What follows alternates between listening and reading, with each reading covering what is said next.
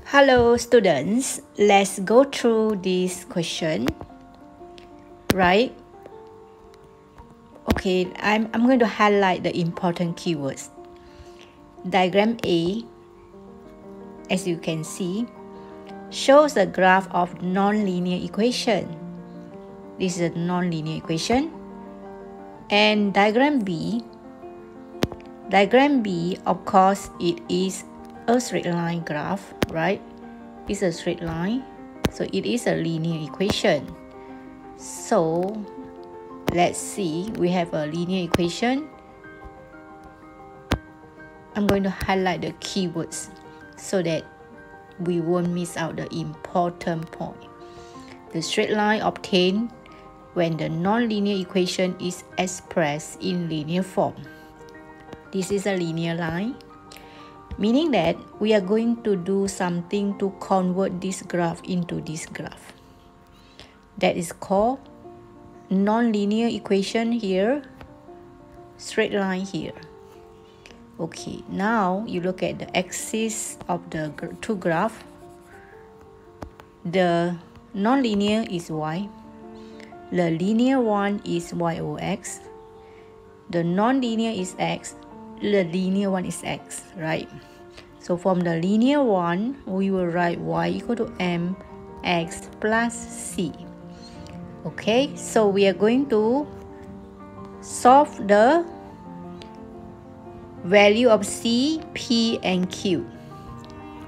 Now, first of all, we need to find the a gradient for the straight line first no matter how we need to make sure we know how to read the gradient. So the big y is y over x that means the gradient will be p and then the intercept will be c. So how to find the gradient? Is we are going to find the y intercept and the x intercept.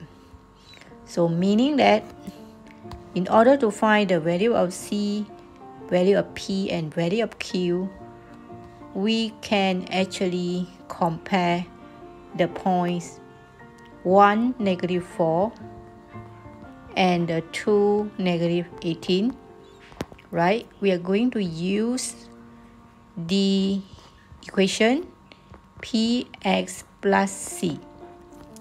Okay, since the small x and small y are there in the point represented by small x, small y. So we can substitute negative 4 over 1 equal to p1 plus c.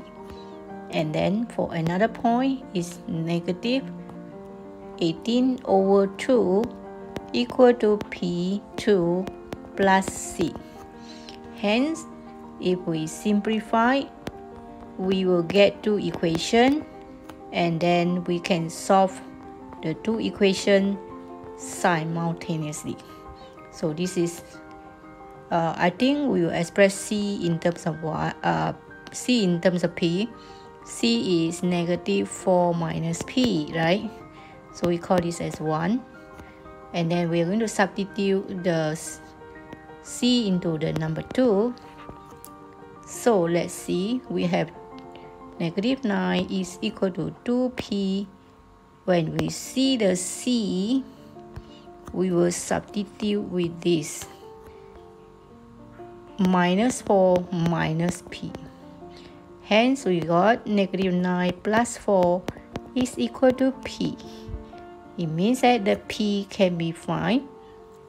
The p is negative 5. After we got the negative 5, we can find the C. C is negative 4 minus negative 5. That means it's 5 minus 4 which is 1. C is 1. And then we are going to solve the Q.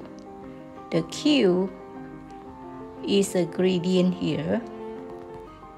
The P is a gradient. P is negative C over Q. We can use the intercept. Alright. So that means the P is negative 5 and just now we got C is 1 so meaning that negative 5 is equal to negative 1 over Q so that means we are having negative 5Q equal to negative 1 hence Q is equal to 1 over 5 alright that's how we solve the constant by comparing the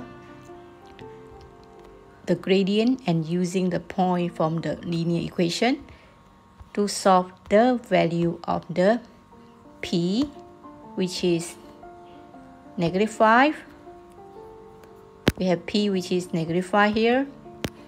And we have the c which is 1 and we have the q which is 1 over 5 so that's all my sharing about solving the linear and non-linear equation. Till then bye bye and have a nice day